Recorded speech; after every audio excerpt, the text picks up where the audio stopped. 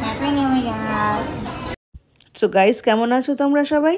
New ইয়ারটা একসাথে কাটাবো বলে বেরিয়ে পড়লাম থার্টি ফার্স্ট নাইটে আজ সব জায়গায় ভিড় হবে জানি তাই দূরে না গিয়ে ডিরেক্ট চলে গেলাম বাড়ির একদম পাশে সাউথ সিটি মলে কোনো মতেই কিন্তু বারোটার আগে বাড়ি ফেরার আমাদের কোনো প্ল্যান আজ নেই। দেখো আমাদের বড় একটা কম্বো দিয়ে গেছে। এখানে আমাদের আছে আগে কর্ন পোলাও তারপরে আছে ভেটকি পাতুরি আর দেখো গাইস এত বড় সাইজের চিংড়ি আর গাইস এইটা তোমরা ভাববে কি? এই দেখো ফিশ আর ডেজার্টে রসগোল্লা আর আচার। ও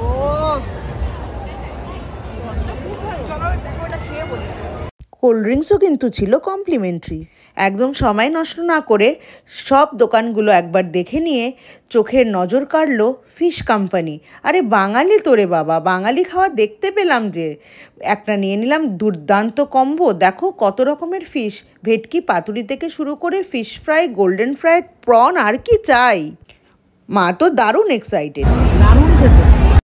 বাঙালি থালা দেখে মা এতই খুশি হয়েছিল যে প্রনের লেজ ধরে ঝোলাচ্ছিল। দেখো গাইজ মা কত খুশি আজকের দিনে এর থেকে বেশি আর কি চাই বলো? ও মাই গড ও বাবা রে আরও বলো খাওয়া দাওয়ার পর প্ল্যান করলাম একটা নাইট শো না দেখে বাড়ি ফিরবো না। আরে বারোটা বাজেনি যে। নিউ ইয়ারে তো একসাথে কাটাবো বলেই বাড়ি থেকে বেরোলাম। চলে গেলাম বেঙ্গলি মুভি প্রজাপতি দেখতে। এ কি, হলের পাশে দেখো কি সুন্দর পার্কের মতো একটা করেছে। আয়ুষ তো প্রচণ্ড এক্সাইটেড কে বলবে ও যে বড় হচ্ছে? দেখো কত খেলনা পেয়েছে।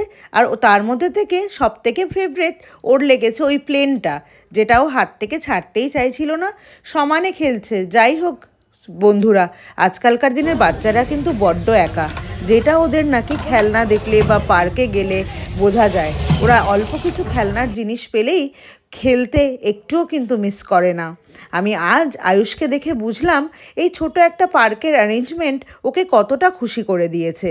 যাকগে, আমি আর ওকে বাধা দিলাম না। কি সুন্দর খেলছে দেখো বন্ধুরা, ওর নিউ ইয়ার জমে গেছে মনে হচ্ছে। এটা হলো রোবো এ লাইট জ্বলে?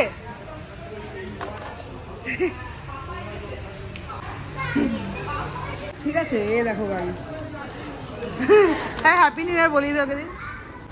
হ্যাপি নিউ ইয়ার